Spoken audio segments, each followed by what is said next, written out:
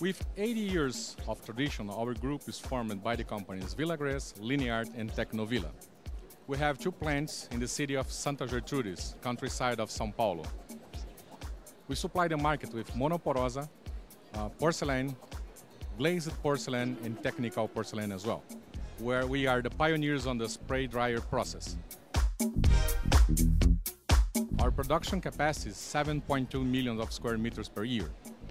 Of these, 95% is for the domestic market and 5% for the exports. Our group operates in 682 cities in Brazil with 260 sales spots.